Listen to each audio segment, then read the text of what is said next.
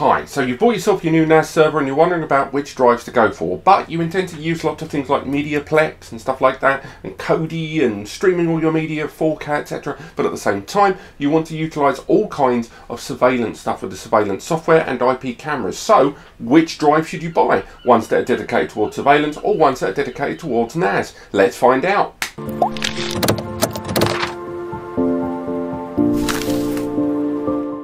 So when you pick between these two for your NAS, it is worth noting that I know it can be difficult. Some of you out there are buy, buying your NAS for the first time. Maybe you've already bought it and you're worried you bought the wrong drives. Or you're trying to tick every single box before you pull the trigger and buy your NAS. And I get that, I really do.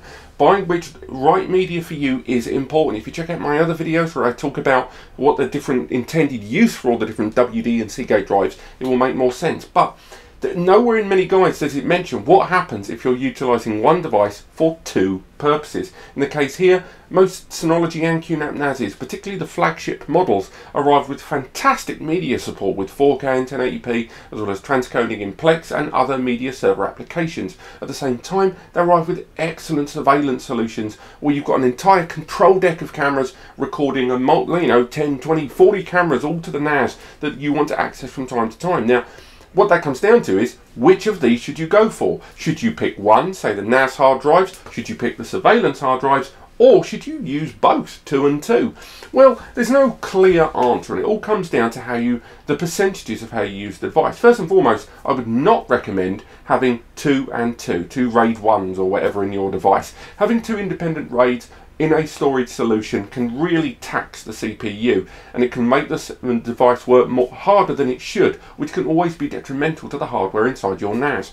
But if you're utilizing uh, surveillance a lot, for those that aren't aware, surveillance hard drives, the reason they're surveillance specialized is because one, there's an incredible, uh, incredibly large proportion of writing happening from all of those cameras to the media, and with regards to reading, you'll barely ever access that footage at the same time. These drives are designed to be read and written to as much as possible at the same time. So if you've got feeds coming from multiple cameras onto the NAS, you still want to be able to access that footage without interrupting the recording of those cameras. And that's why purple drives are important.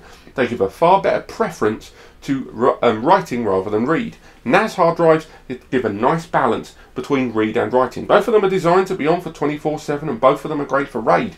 But when it comes to multimedia, particularly streaming, there's a lot of read writing going on, and particularly when backups and the ability for a drive to be able to read and write with equal proficiency, it can make choosing between them difficult. But what for me it comes down to is proportions. I know it sounds a bit obvious, but both of these can do the other one's job. They just happen to not do them as well. So NAS drives can cover surveillance and Purple can cover NAS. But it all depends which one you're going to use more. I know it seems a bit obvious, but take my word for it. If you're going to utilise your NAS more for surveillance with the occasional bit of media, and I'm talking 75 to 25%, go for the purple hard drives if surveillance is the larger proportion. Because that's what you have to give preference to. The NAS will still be able to utilise the rest of the drives for regular NAS, and vice versa if it's 75% media and 25% surveillance. Go for the red drive, uh, go for the NAS-based hard drive like uh, WD Red and Seagate um, IronWolf, because those NAS hard drives are going to be doing the bulk of those of the work because of the NAS use of that device. But what about if it's 50-50?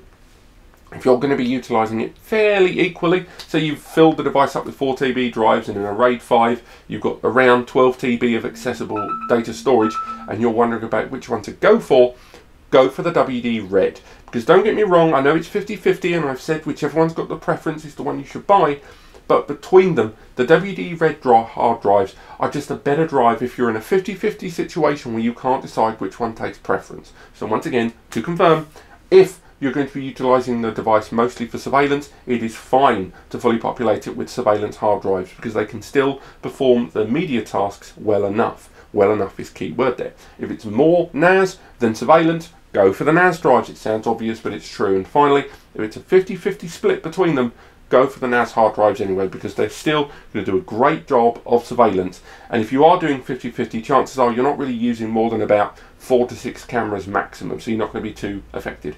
If you're running 10, 20 cameras, slightly different, and I definitely don't think you're going to be watching as much media to meet that 50-50 criteria. But If you want to learn more, then do click the link in the comment and in the description below to take you to nascompares.com. Don't forget to click like and subscribe to support the channel. I need you, you need me. Let's do this. And otherwise, thank you so much for watching, and I'll see you next time.